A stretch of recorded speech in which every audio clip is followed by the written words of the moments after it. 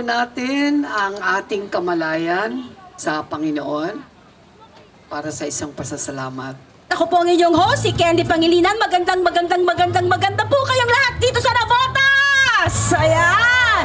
Maagang Pasko sa inyo lahat at bahagi na nga ng pagsasaya natin tuwing Pasko ang Metro Manila Festival at ang Parade of Stars. Hello po sa inyong lahat na nandito ngayon sa Navotas Centennial Park sa kick-off ng 49th Metro Manila Film Festival Parade of Stars. Yes, it's the time of year again. Kaya tara na, makisaya sa MMFF 2023. First time po dito sa Navotas gagawin ang pagsisimula ng festival na okasyong ito. Marami na po ang nag-aabang at handa na rin na ang makukulay at nagagandahang floats natin kung saan sakay ang inyong favorite stars from 10 participating movies in this year's MMFF.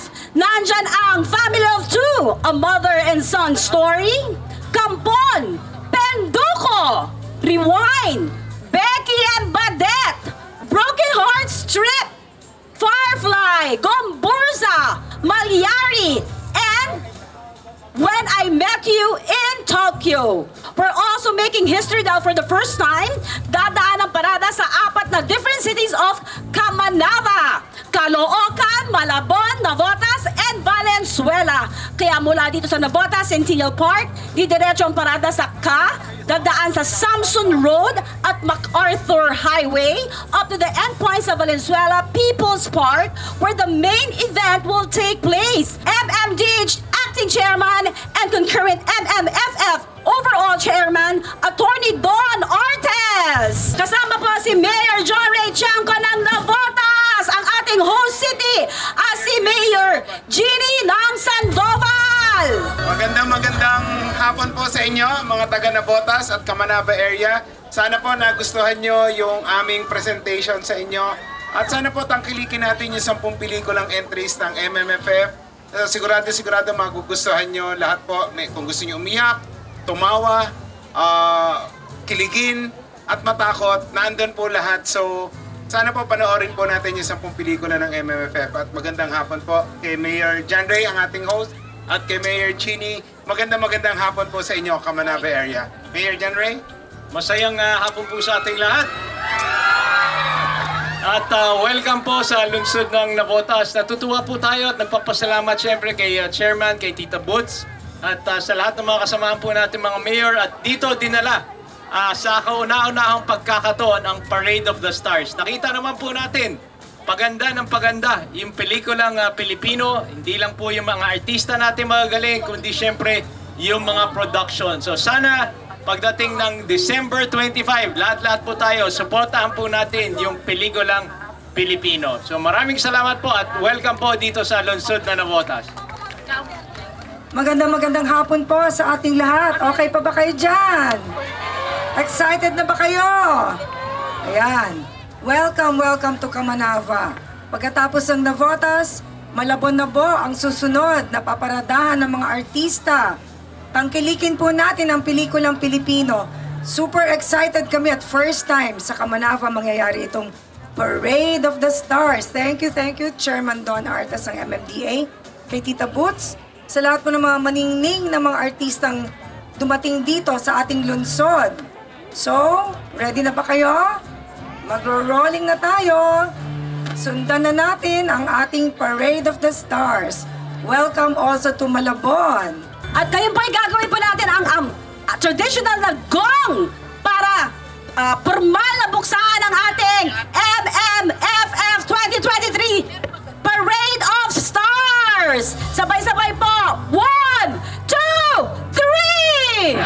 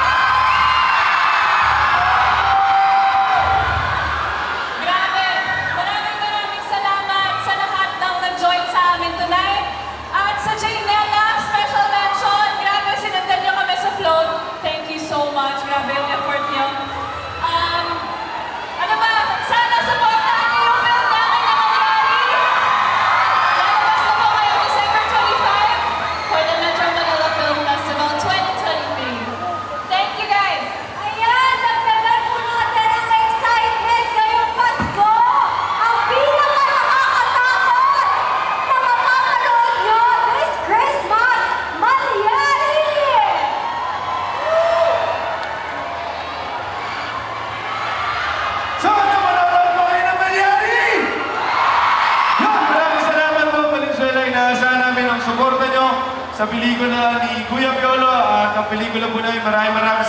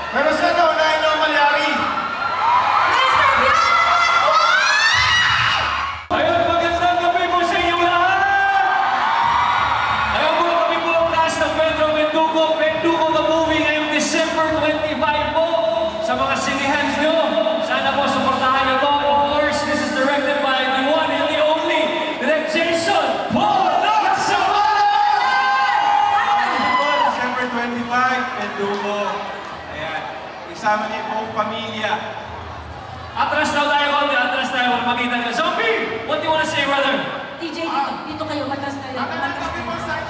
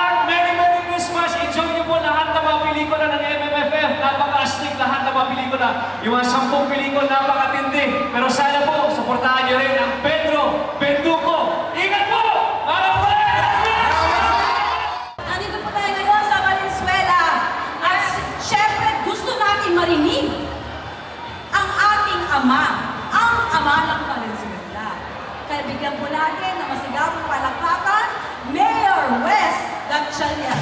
Magandang magandang gabi po sa ating lahat at uh, mga kasama dito po natin formal na isinasara ang ating apat na daang taong anibersaryo ng lungsod ng Valenzuela. At ako po ay nagpapasalamat sa lahat ng kooperasyon ng ating BPLD. Alam ko, kanina pa kayo naghihintay, pero nag-enjoy ba tayo? Sulit ba yung paghihintay natin?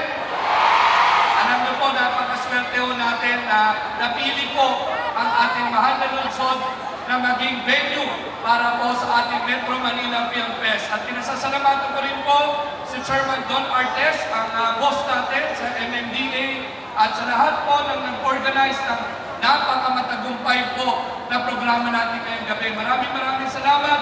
Ito pong uh, programa nito ay parang parte na po ng kasaysayan ng lungsod ng Valenzuela. Tayo mga Valenzuelano, hindi natin makakalimutan ang mga ganitong pagkakataon na binigay sa atin ng Panginoon. So sa ngalan po ng lungsod ng Valenzuela, nais ko pong bumati sa inyo ng isang masaganang Pasko at manigong bagong taon sa inyong lahat. Enjoy po tayo, enjoy tayo. Mga Valenzuelanos! Para mababa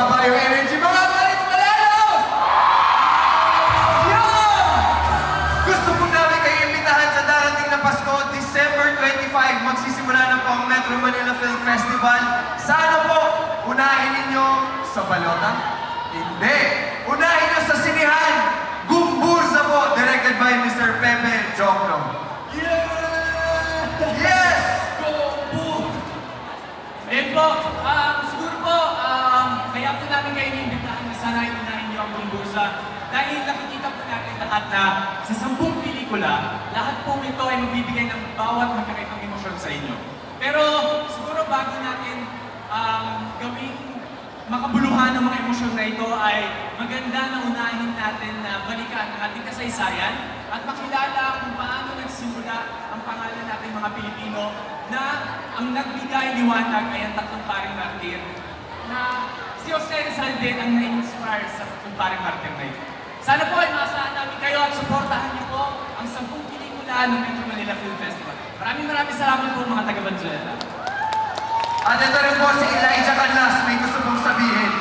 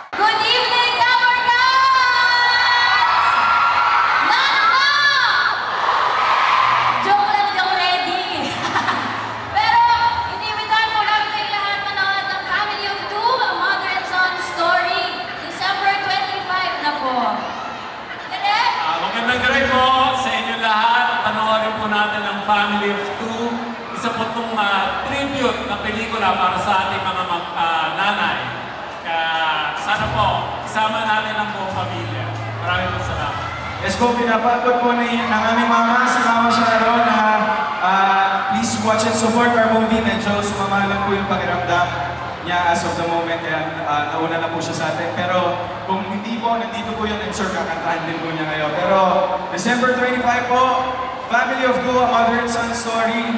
ah, this coming December 25. And uh, ako, nararamdaman ko, since parada pa lang, since pagdating pa lang, ito na ulit ang pagbabalik sigla ng Philippine Cinema!